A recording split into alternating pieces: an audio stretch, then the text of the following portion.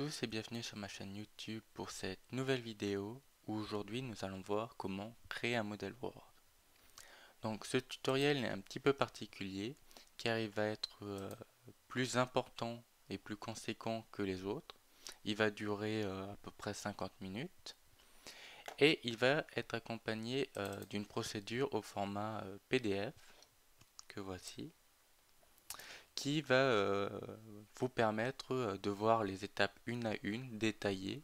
Donc vous pouvez suivre la vidéo et en même temps suivre euh, sur ce PDF et ainsi avoir des détails, avoir parfois des compléments ou bah, au format PDF vous pouvez très bien le partager à des collègues et vous en resservir ultérieurement.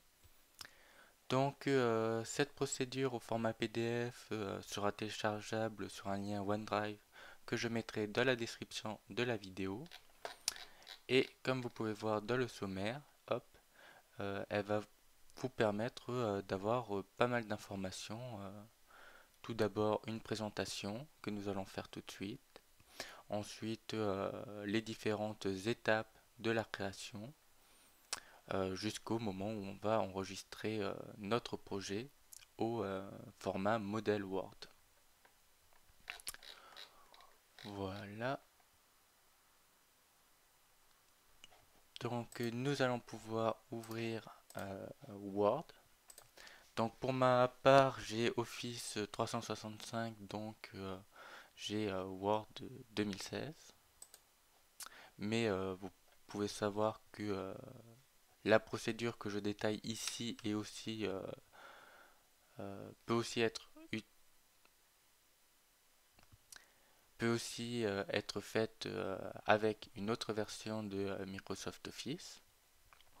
Et donc là on peut voir mon modèle ici. Donc il y a les modèles Word développés par Microsoft qui vous sont proposés.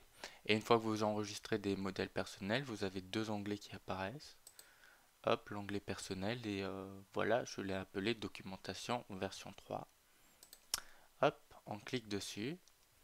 Et voilà donc un petit peu comment se euh, présente euh, le modèle avec une page de garde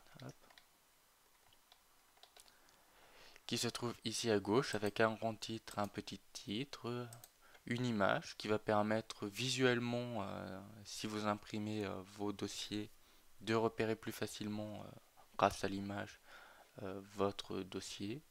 Quelques informations euh, importantes comme l'auteur, le projet sur lequel on travaille, la technologie, la date de publication, la version du document, etc. Après, bien sûr, toutes ces données vont pouvoir être complétées.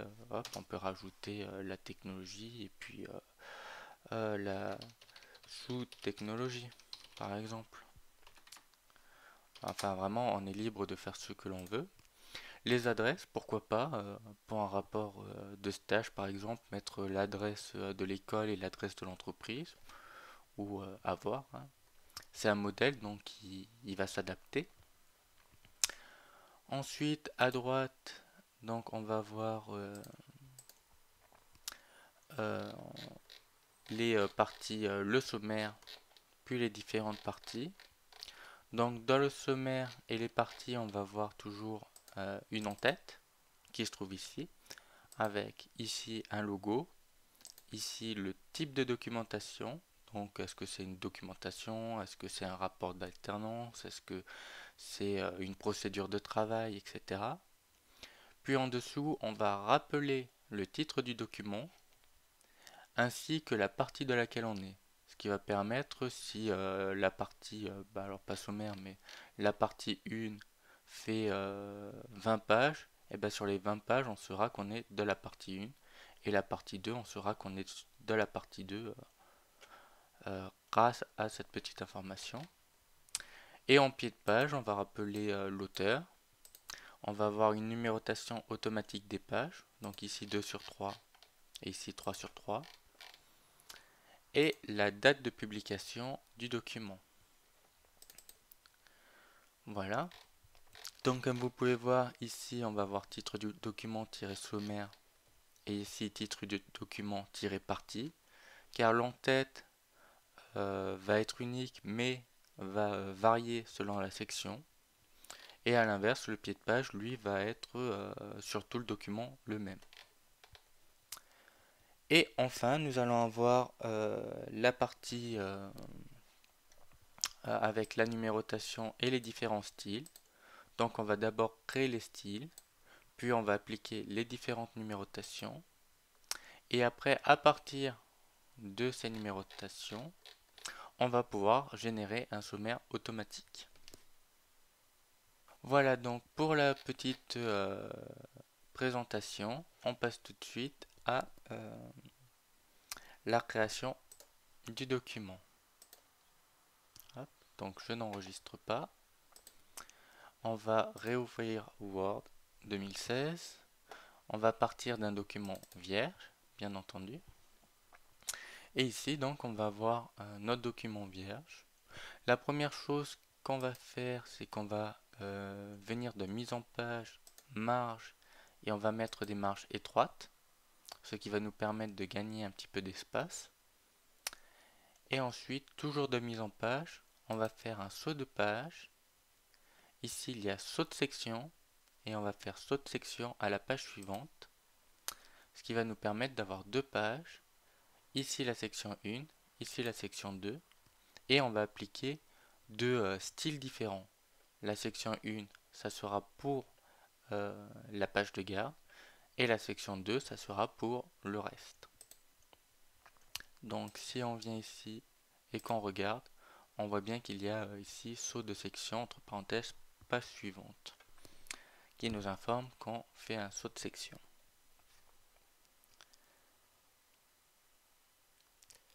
Voilà. Ensuite, donc, nous allons commencer par faire la page de garde. Pour ceci, on va aller dans l'onglet Création. Puis là, à droite, il y a Bordure de page. Et on va faire un petit, euh, une petite bordure de page. Voilà, comme ça. Que j'aime assez. Et on va faire attention, on va pas l'appliquer à tout le document, mais on va l'appliquer uniquement à cette section-là. Ok Voilà.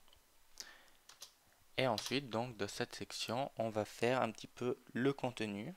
Donc, les titres, grand titre et petit titre.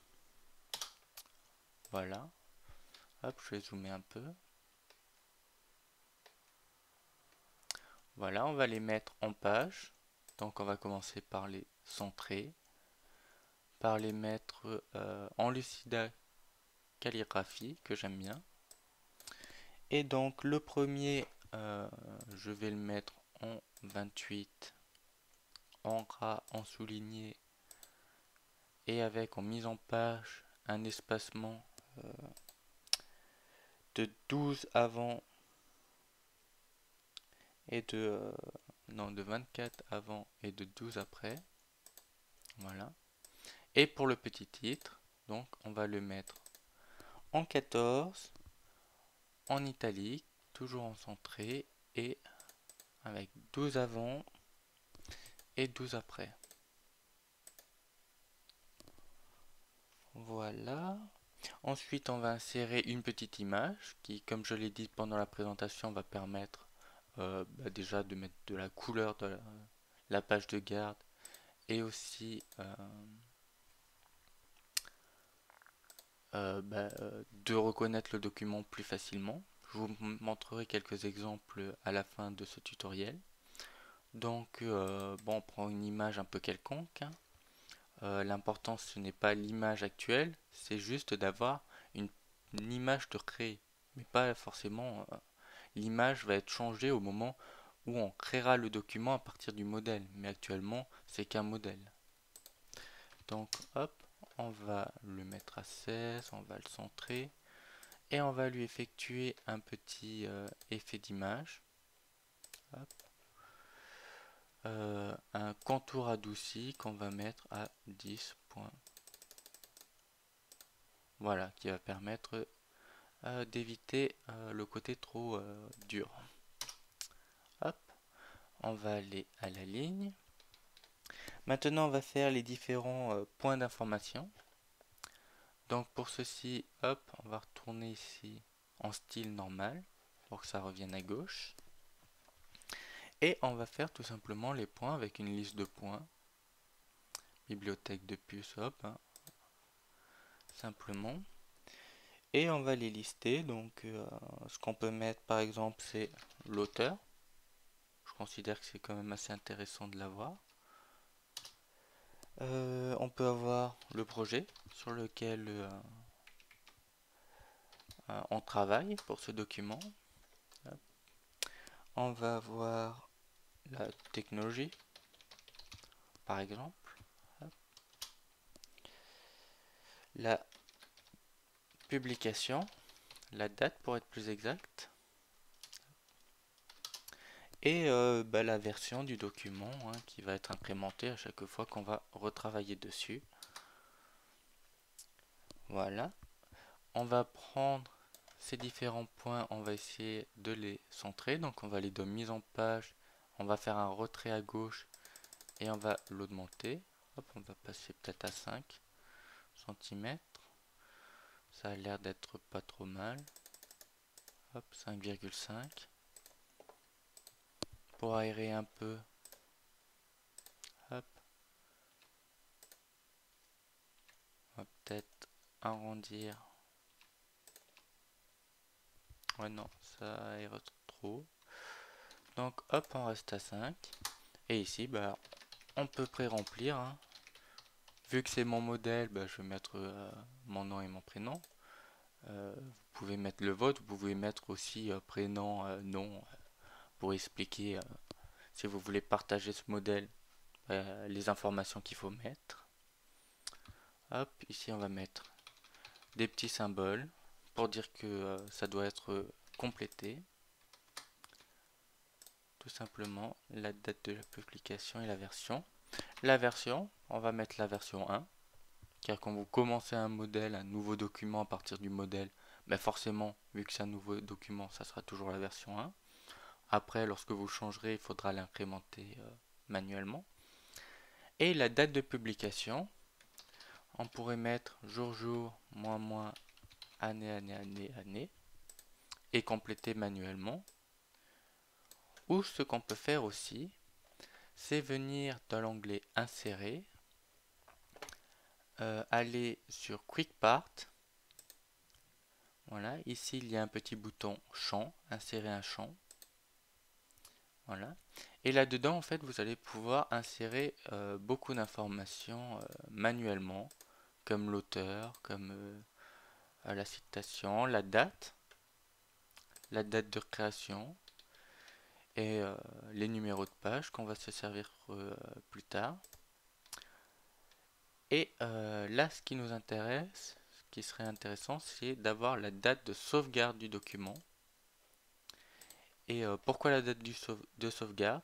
C'est-à-dire qu'à chaque fois qu'on va enregistrer le document, hop, cette date-là va se mettre à jour avec la date de sauvegarde. Et donc, euh, si vous avez changé, que vous avez oublié d'incrémenter la version, la date de la publication sera bien changée. Voilà pour les différents points. Et maintenant, on va retourner en normal. Et ce qu'on va faire, hop, on va faire un petit entrée. Et on va faire les adresses. Pour ceci, on va tout simplement commencer par écrire adresse 1 de petits points et on va mettre euh, euh, le nom du destinataire, euh, l'adresse et le code postal avec la ville. On va lui mettre un petit peu ça par exemple en gras et souligné pour mettre en avant que c'est la première adresse on va aller de mise en page, on va resserrer pour que ce soit plus joli. Et on va copier ça et le coller en dessous en changeant adresse 1 par adresse 2. Et maintenant, pour faire en sorte que ce soit côte à côte, on va tout simplement venir sélectionner les deux. On va aller de mise en page, colonne, au lieu d'avoir une seule colonne, on va spécifier qu'on en veut deux. Tac. Voilà, ça se met automatiquement à jour. Et donc on a bien l'adresse 1 à gauche, l'adresse 2 à droite. Et pour faire un petit peu plus joli, euh, centrer un petit peu plus, car là ça s'est collé, en toujours de mise en page, on va faire un petit retrait à gauche. qu'on va mettre euh, à 2 par exemple, ça a l'air d'être pas trop mal. Mais que vous pouvez adapter si l'adresse 2 euh, est un peu longue. Voilà. Et petite information utile, c'est que si jamais sur l'adresse 1 vous avez adresse et puis complément d'adresse, bon, on va plutôt le faire sur l'adresse 2 que vous avez. Complément d'adresse, par exemple, vous voyez que ça va automatiquement se mettre à jour pour être de façon égaux des deux côtés pour faire les colonnes. Mais euh, que si on a un nombre impair, le nombre impair va se faire côté gauche. Donc pour faire repasser tout simplement l'adresse 2 à droite, eh ben on va rajouter une ligne qui sera vide, tout simplement. Donc ça, euh, c'est à faire pendant euh, la création du document. Supprimer le complément. Et on vient ici et on a la page de garde, donc à laquelle on peut rajouter euh, en mise en page un peu plus d'espace si on veut aux différents endroits, donc ici et là, hop, pour aérer un petit peu plus le, euh, la page de garde. Voilà, maintenant vous avez la page de garde qui est faite avec vos titres, votre image, les différentes informations importantes et vos adresses. On va passer tout de suite à l'entête et au pied de page. Donc pour cela, hop, on va rezoomer un petit peu. Voilà, il faut double-cliquer en haut de votre page. Et là, vous avez un nouvel onglet qui est apparu, Outils en tête et pied de page, et l'onglet Création. Et ici, vous avez un petit bouton qui s'appelle Lié au précédent, qui va en fait permettre d'avoir le même en-tête pour la section 1 et la section ici 4. Donc si par exemple je vais marquer test ici, on va l'avoir aussi en haut. Mais si maintenant je clique, et c'est ce qu'on va faire pour nos documents sur lié au précédent, hop, il n'est plus lié. Là on a une en-tête de la section 1 et là on a une en-tête de la section 4 qui vont être différents. Et on refait le test et ce coup-ci n'est pas répercuté à la première section. Euh, ce qui est ce qu'on veut parce qu'on n'a pas envie que la page de garde ait l'entête du reste du document. Et on va venir en bas et on va faire pareil avec le pied de page lié au précédent, hop, on le décoche. Tenant, euh, on va aussi faire l'entête à partir du haut et du bas. Donc à partir du haut, on va faire 0,6. Et à partir du bas, on va faire 0,1. Ça, euh, c'est des données que je connais par rapport à la position du tableau qu'on va euh, mettre dedans. Mais là encore, et comme pour tout le reste du document, vous pouvez personnaliser à volonté. Et maintenant, ce qu'on va faire, c'est qu'on va insérer des tableaux parce que les en-têtes pour les faire euh, bien carrés, bien beaux, moi ce que j'aime bien c'est euh, avoir un, effet tableau. Donc on va en insérer un en haut qui va faire deux colonnes et deux lignes. Et on va en insérer un en bas pour le pied de page qui va faire trois colonnes et une seule ligne. Ensuite, ce qu'on va faire, c'est qu'on va mettre en forme euh, les bordures. Donc, on va de l'outil tableau création et on va venir euh, bordure, bordure et trame. Et là, on va pouvoir faire encadrement avec euh, celui-là, par exemple, pour avoir le même que pour la page de gare et auquel on va rajouter en personnaliser euh, les traits à l'intérieur. Ok. Et on va faire exactement euh, pareil en bas. Donc bordure, bordure et trame. On part de l'encadrement comme cela. Et ensuite on passe en personnaliser et on rajoute euh, les traits verticaux. Voilà. Une fois que cela est fait, euh, ce qu'on va faire, c'est qu'on va euh, venir sélectionner les tableaux en entier, donc en cliquant sur la petite coche ici. On va aller dans l'onglet accueil et on va faire centrage vertical. Ce qui ne se voit pas ici, mais ce qui se verra euh, si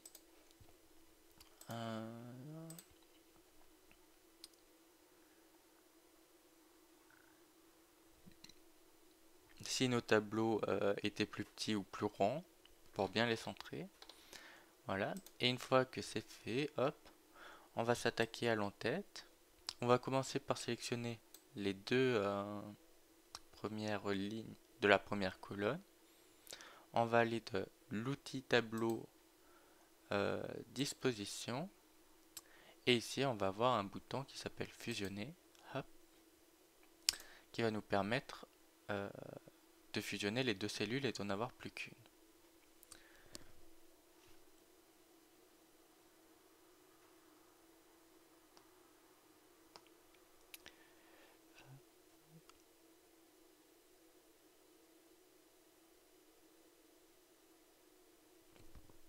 Voilà, une fois que vous avez fait ça, vous allez dans la largeur euh, de cette colonne-là. Et on va mettre 4 cm. Voilà, vous voyez que du coup ça rétrécit, mais que c'est bien centré vu que je l'ai centré tout à l'heure. Et pour la deuxième euh, colonne, donc vous sélectionnez ici, deuxième, et on va mettre 15,5. Voilà. Et en bas, on va faire pareil. La première colonne, on va mettre 5. La deuxième, on va mettre 9,5 ici. Et la dernière, on va mettre 5. Voilà. Comme ça, euh, ces colonnes-là, euh, ce tableau-là, a la même euh, largeur que ce tableau-là. Voilà. Une fois que c'est fait, donc, de l'entête, ici, on va faire une position centrage, verticale et horizontale en cliquant de outil tableau disposition ici. Et on va venir insérer euh, une image qui va être notre petit logo, qui va venir arrondir vachement, ce qu'on ne veut pas. Donc on va euh, tout de suite aller de la taille, on va lui mettre une taille de 2 par exemple, pour qu'il soit assez petit. Euh, et on va l'arrondir juste après. Et pour euh, ces deux colonnes là, on va faire aussi un centrage horizontal et vertical. De la première ligne, on va marquer documentation qu'on va venir mettre en gras et en 10. Et dans la deuxième ligne, on va mettre titre du document, sommaire, espace. Voilà. Pour rappeler le titre du document et la partie dans laquelle on est. Et euh, on va aller de mise en page et on va faire espacement de 6 avant et après pour aérer un petit peu euh, le document. Et on va arrondir un petit peu la taille en 14 pour euh, mettre en valeur l'entête. Et on revient de sélectionner notre logo on va aller de outils image mise en forme et on va l'arrondir jusqu'à ce qu'il déforme notre en-tête là vous voyez c'est un petit peu arrondi si euh, je suis à 3, hop, c'est euh, ces informations-là qui font la largeur, la hauteur, pardon. Si j'arrondis, vu que cette cellule-là prend plus de place, c'est celle-là qui va déterminer la hauteur. Donc on va se mettre à 3 pour que le logo prenne un maximum de place, mais sans euh, venir arrondir ou, rétrécir notre tableau notre en-tête. Voilà, donc l'en-tête est terminée. On va passer au pied de page, où on va sélectionner les trois euh, colonnes. Et pour les trois colonnes, on va pouvoir faire mise en page 6 avant et 6 après pour pouvoir aérer. Ensuite, on sélectionne la première colonne où on va marquer le nom de l'auteur la deuxième colonne, on va aller de outils tableau, disposition et on va faire centrage, vertical et horizontal. Et on va marquer page, espace. Et là, on va à nouveau se servir des euh, champs. Donc on va retourner dans l'onglet insérer. On va aller sur le petit outil Quick Part, puis le bouton champ.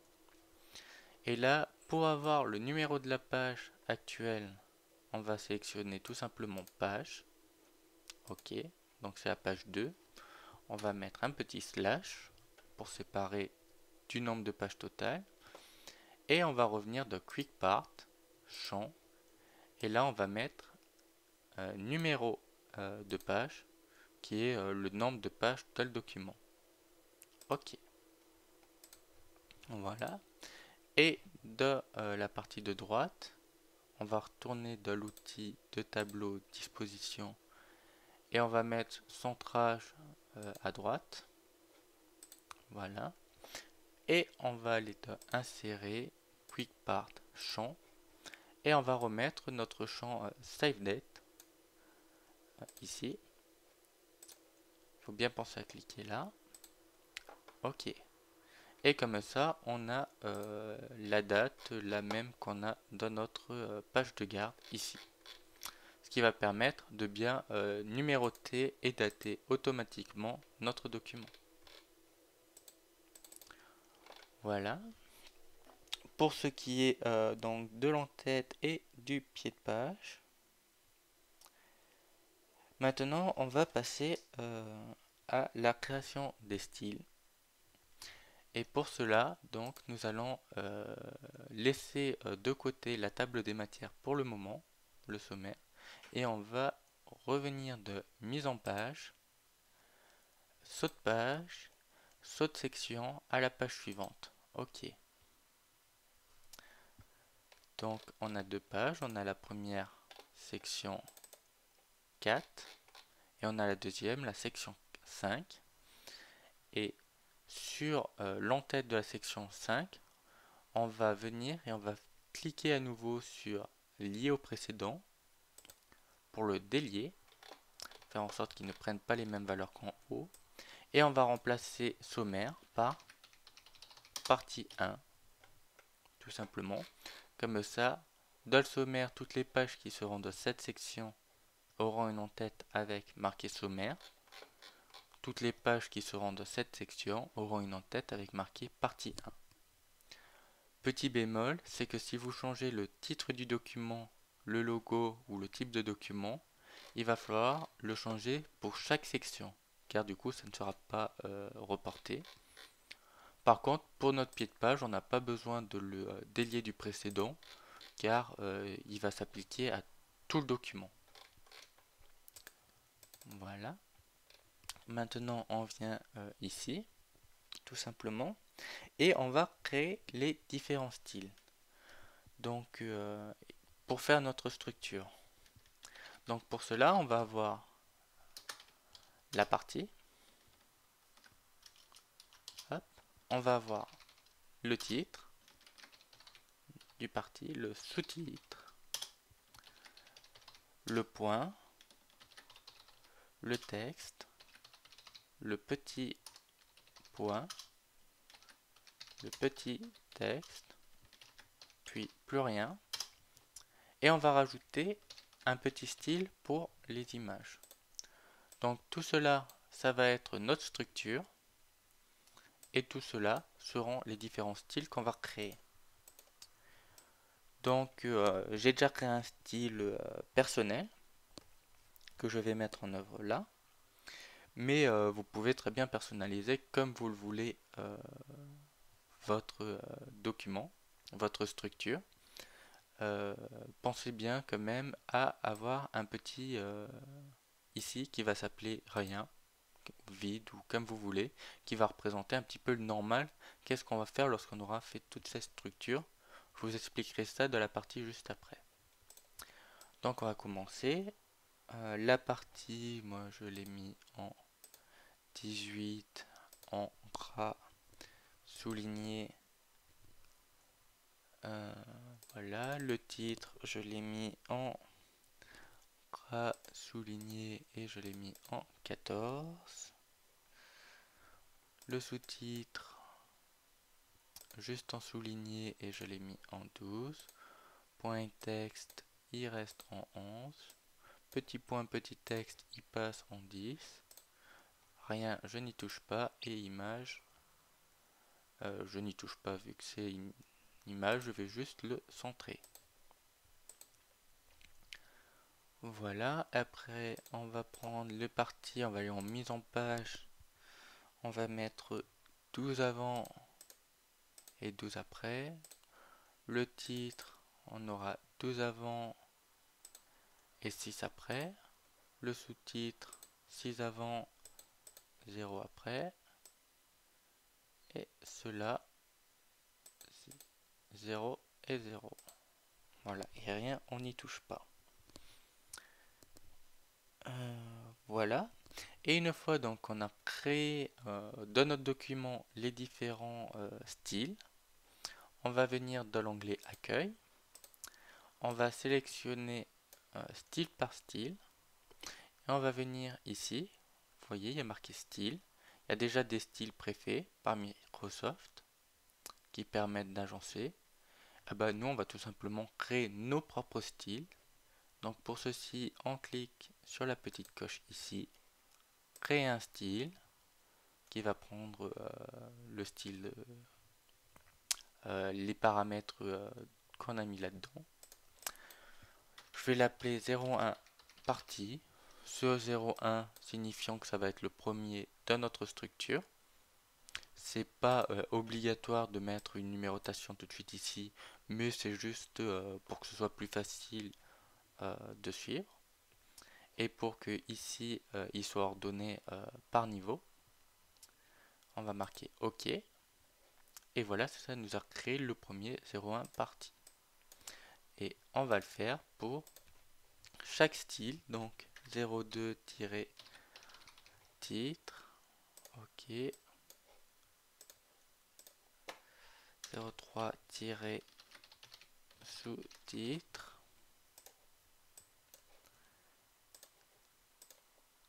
04-point.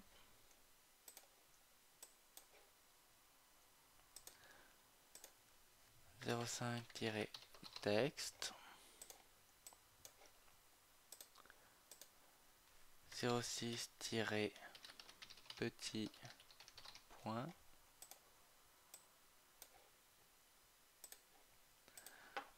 zéro sept petit texte. Petit 8 rien.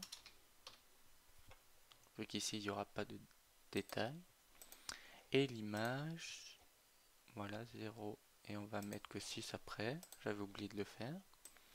Hop, on va venir et on va faire créer un style et on va l'appeler tout simplement image sans lui donner euh, de numéro à celui-là puisqu'il euh, va, les images pourront être euh, mises un peu n'importe où dans le document. Il ne fera pas partie de la structure.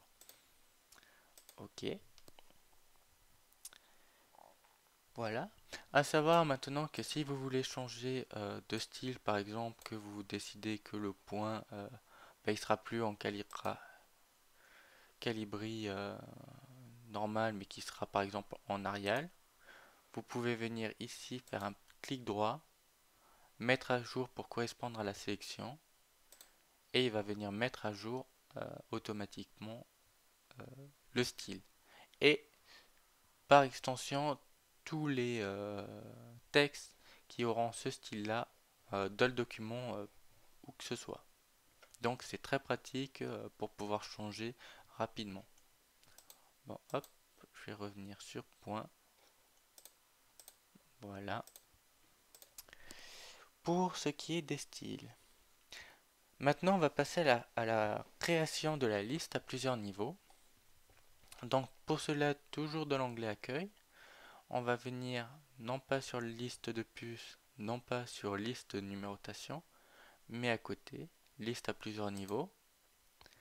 Et ici, on va venir sur définir une nouvelle liste à plusieurs niveaux. OK. Et là, il y a un petit onglet qui va nous ouvrir, une petite fenêtre qui s'ouvre et qui va nous euh, donner une liste euh, standard, mais qu'on va venir personnaliser. Pour commencer, donc, on va cliquer sur plus ici pour avoir des informations supplémentaires. Et on va faire plusieurs étapes dans cette fenêtre. La première, c'est que pour chaque niveau de notre liste, nous allons attribuer un style. Et c'est là que euh, le fait d'avoir numéroté, c'est assez intéressant. 0,1 partie pour le premier, 0,2 titre pour le deuxième, 0,3 04 05 6 7 8 et pour le 9 s'il y a marqué aucun style il va prendre automatiquement le style du niveau supérieur c'est-à-dire à nouveau rien de ce cas là voilà donc une fois que les styles sont attribués, on va attribuer la numérotation qui nous intéresse. Donc pour le premier, euh, les différentes parties, je ne veux pas qu'il y ait euh, quoi que ce soit. Donc je viens supprimer là aucun. Et en dessous, ça se met automatiquement un jour aucune. Pour le deuxième, ce qui m'intéresserait, c'est d'avoir les chiffres romains. Donc je vais venir ici et je vais sélectionner tout simplement style de nom pour ce niveau, les chiffres romains. Ok. Et à la place de la parenthèse, moi ce que j'aime bien c'est les petits points. Donc euh, je viens le mettre, mais vous pouvez mettre ce que vous voulez. Hein. Vous pouvez mettre espace, tirer, euh, ce que vous voulez. Voilà, et puis on continue. Hein. Après le troisième niveau, les chiffres normaux.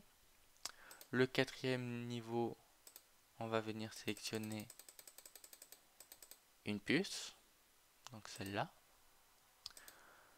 Le cinquième, il n'y a rien, vu que ça va être du texte. Le sixième, ça va être une puce, donc on va la trouver là. On peut aussi euh, aller de nouvelle image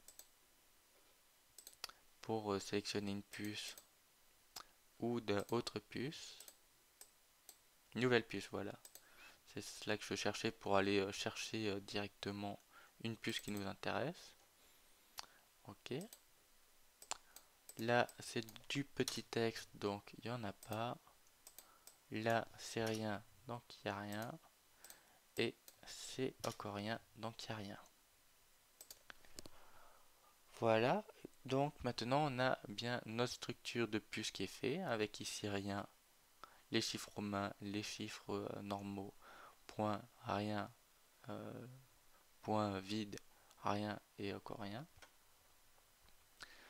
Et maintenant, ce qu'on va faire, c'est le positionnement, le décalage par rapport à la gauche euh, des différentes puces et numérotation et euh, du texte. Donc pour ceci, on va aller de, cette zone-là. Et euh, pour la première partie, typiquement, je veux que ce soit centré et qu'il n'y ait aucun retrait ni des puces ici ni du texte. Voilà.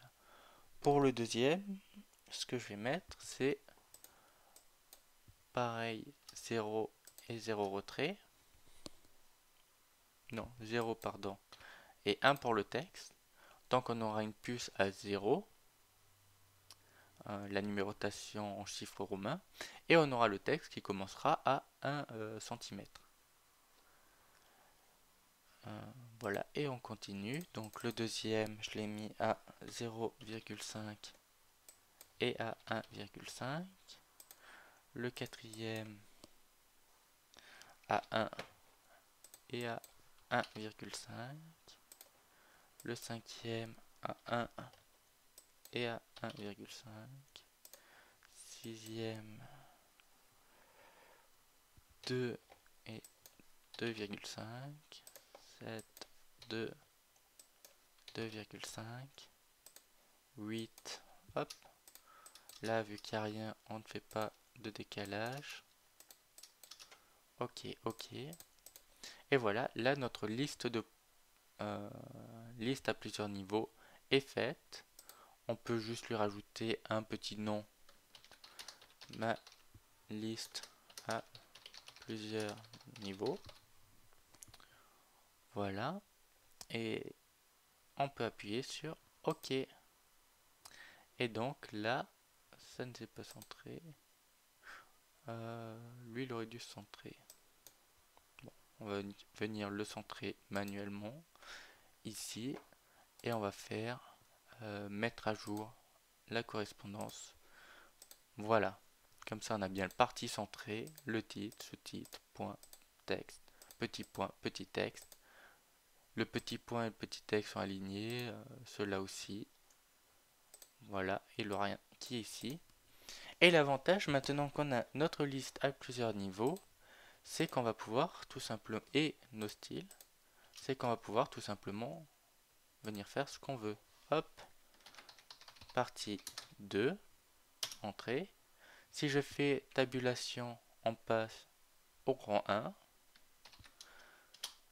entrée, hop, on passe au rang 2. Je refais une tabulation, je passe au niveau suivant, etc. etc. Donc là, petit 1, hop, petit point, le texte, hop, je fais ce que je veux.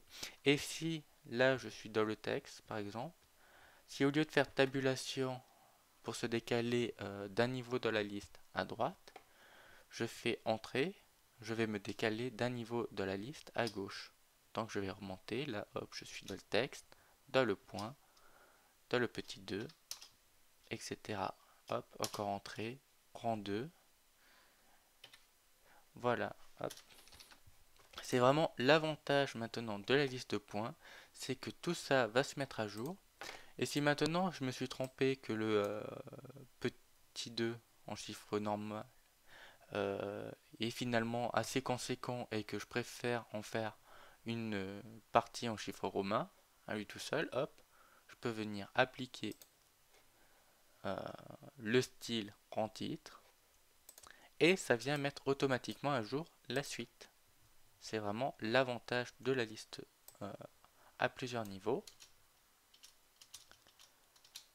Voilà. Et maintenant, ce qu'on va faire, c'est la table des matières automatique en fonction de ça. Donc on va remonter dans le sommaire. Hop.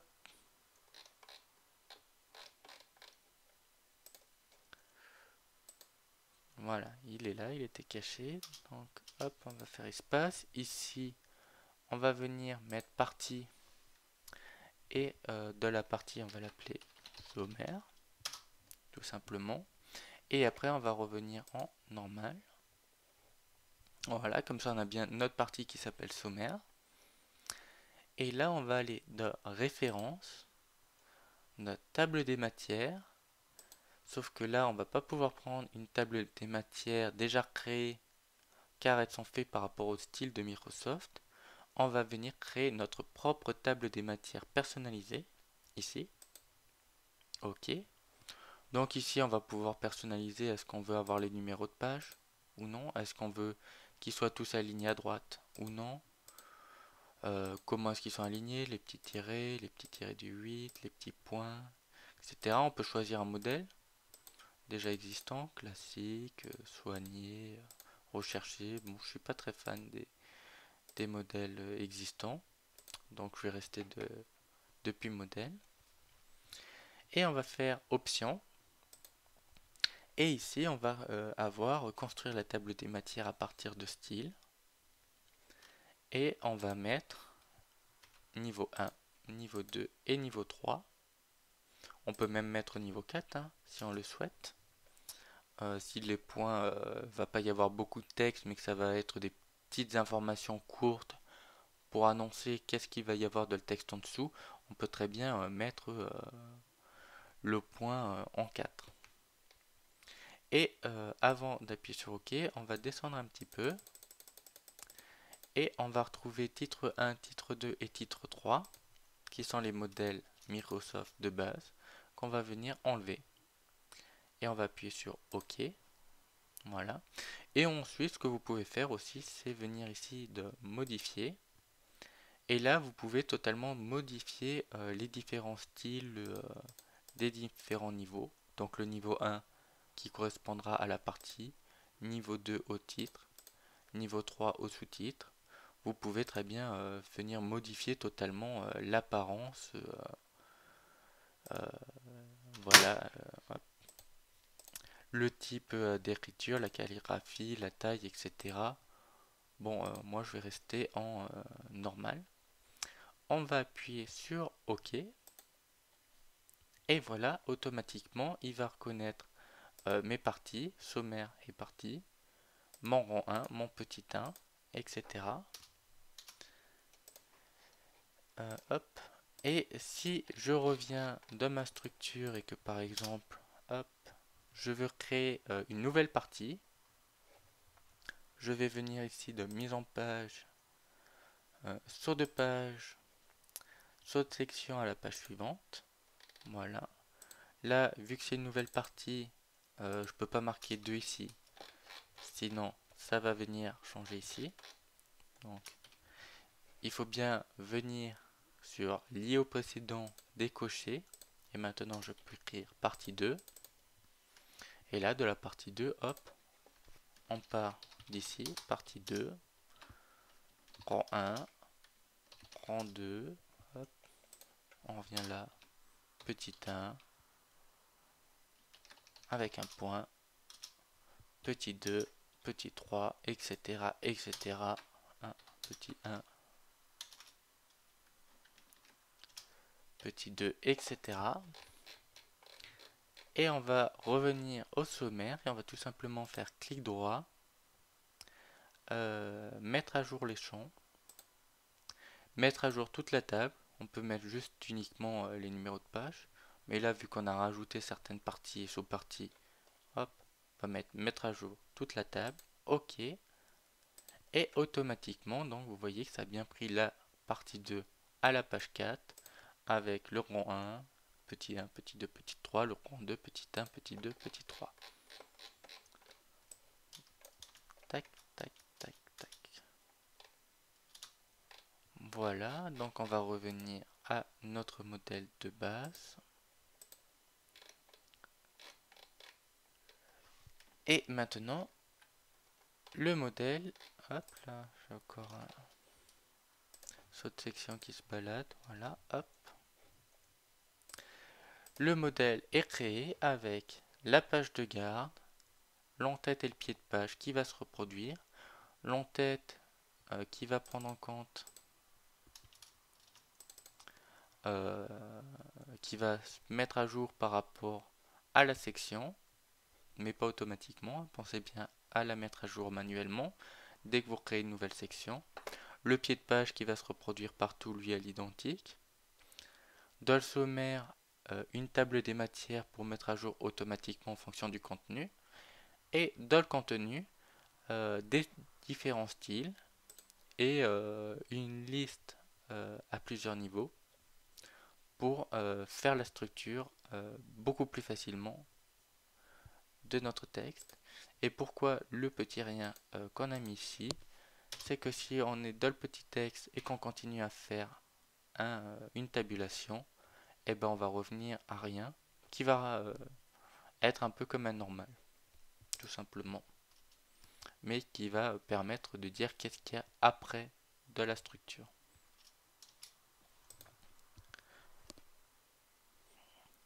Voilà donc pour la table des matières.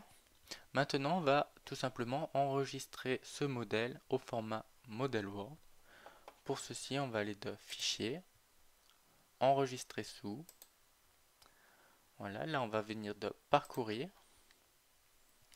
Et ici, donc au lieu euh, d'enregistrer au format document Word, on va cliquer, on va venir enregistrer au format Model Word.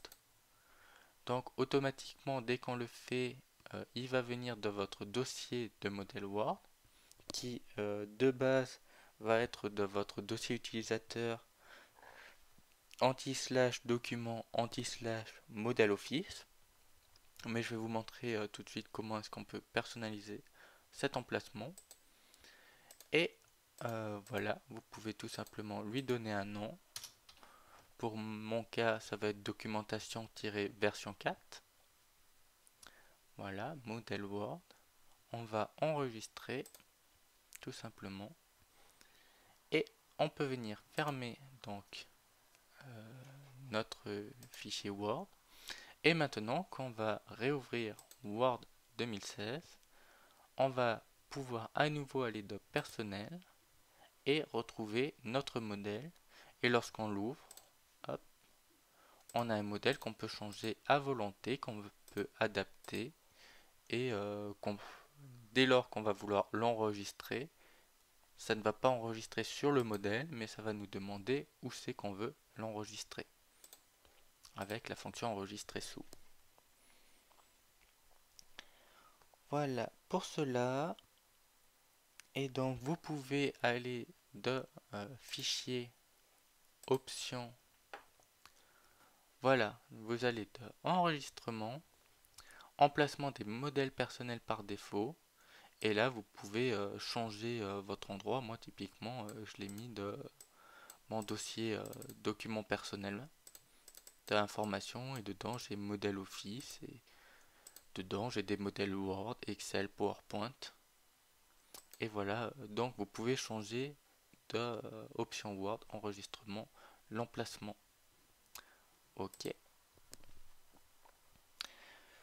Voilà donc euh, comment créer euh, le document. Maintenant, comme promis, je vais vous montrer quelques euh, exemples de documents que j'ai créés.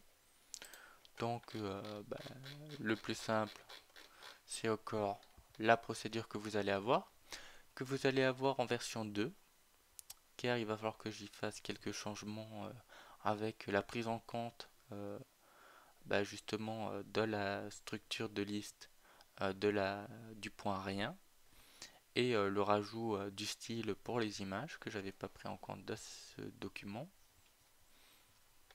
Voilà, donc typiquement créer un modèle Word, savoir utiliser le pack Microsoft Office, une petite image Microsoft Word 2016, l'auteur moi, le projet ma chaîne YouTube, la technologie Microsoft Office, la date de publication et la version.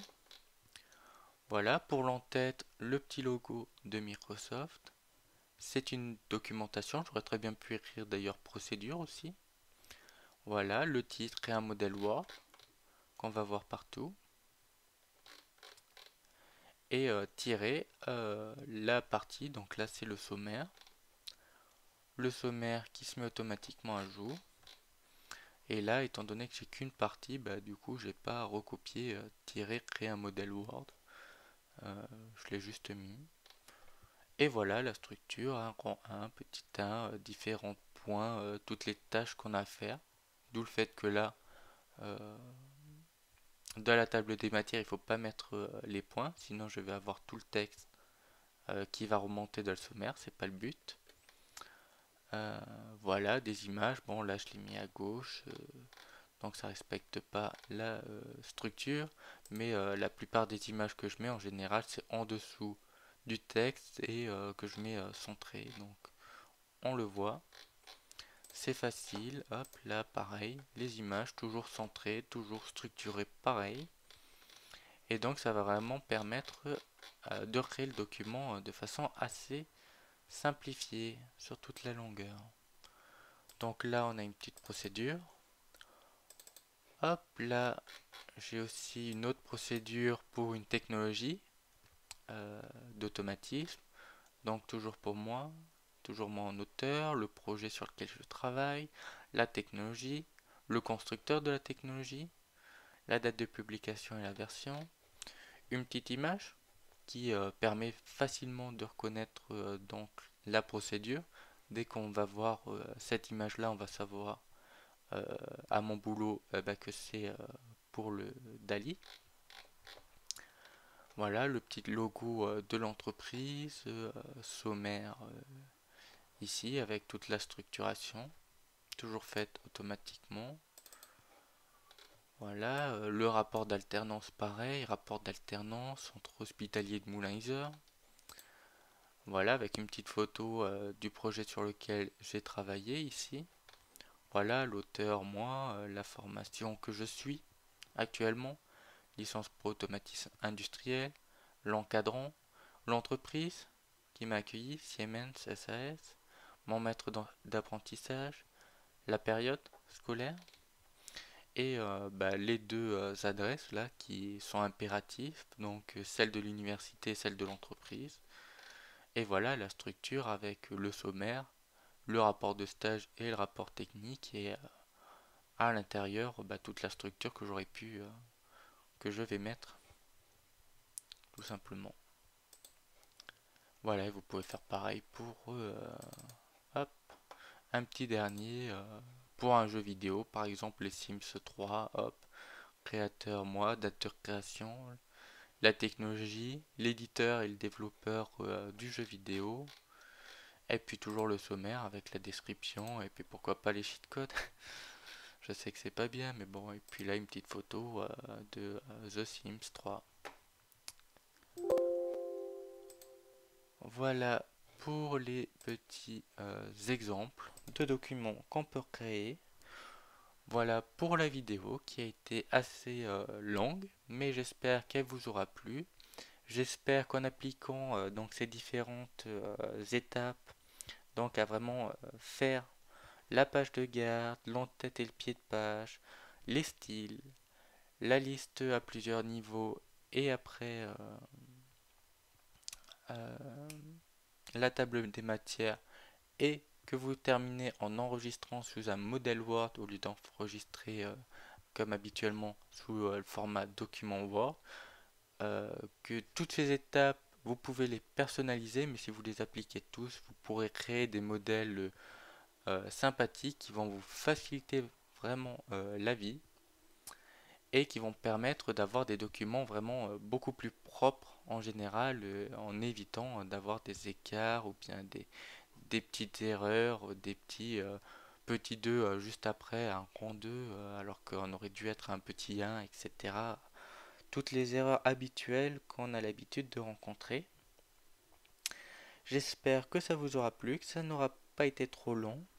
Je vous invite à aller télécharger toujours la procédure au format PDF sur le lien que je vais mettre dans la description de la vidéo.